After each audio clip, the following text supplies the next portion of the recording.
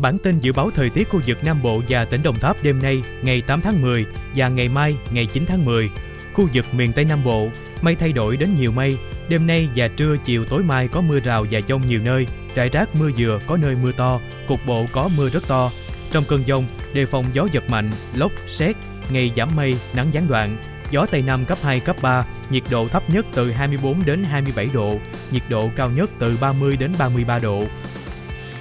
Khu vực tỉnh Đồng Tháp, thời tiết khu vực các huyện đầu nguồn, mây thay đổi đến nhiều mây, ngày nắng gián đoạn, đêm nay và chiều tối mai có mưa, mưa rào nhiều nơi và rải rác có dông, có nơi mưa vừa mưa to. Trong cơn dông, đề phòng gió giật mạnh, lốc, xét, gió Tây Nam cấp 2, cấp 3, nhiệt độ từ 26 đến 33 độ. Thời tiết khu vực các huyện cuối nguồn và nội đồng, trời nhiều mây, đêm nay và ngày mai có mưa rào và dông, rải rác mưa vừa, có nơi mưa to, ngày nắng gián đoạn, gió Tây Nam cấp 3, nhiệt độ từ 24 đến 32 độ. Thời tiết khu vực thành phố Cao Lãnh, nhiều mây, ngày có lúc giảm mây, hưởng nắng, các nơi có mưa rào và dông nhiều nơi, trải rác có mưa dừa, cục bộ có nơi mưa to. Trong cơn dông, đề phòng gió giật mạnh, lốc, xét, gió nhẹ, nhiệt độ từ 24 đến 32 độ.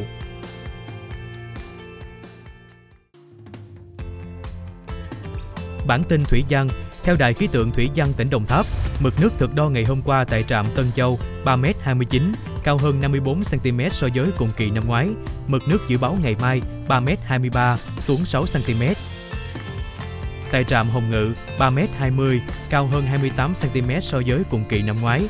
Mực nước dự báo ngày mai 3m13, xuống 7 cm. Tại trạm Sa Rài Tân Hồng 3m37, cao hơn 48 cm so với cùng kỳ năm ngoái. Mực nước dự báo ngày mai 3m34, xuống 3 cm. Tại trạm Tam Nông 2m49, cao hơn 27 cm so với cùng kỳ năm ngoái. Mực nước dự báo ngày mai 2m51, lên 2 cm. Tại trạm Trường Xuân Tháp 10 2m09, cao hơn 23 cm so với cùng kỳ năm ngoái. Mực nước dự báo ngày mai 2m10, lên 1 cm. Tại trạm Cao Lãnh 2m21, cao hơn 53 cm so với cùng kỳ năm ngoái. Mực nước dự báo ngày mai 2m03, xuống 18 cm. Tại trạm Sa Đéc 1m98, cao hơn 56 cm so với cùng kỳ năm ngoái. Mực nước dự báo ngày mai 1m74, xuống 24 cm. Nhận định 5 ngày tới, mực nước khu vực đầu nguồn và phía nam xuống dần, mực nước nội đồng tháp 10 biến đổi chậm,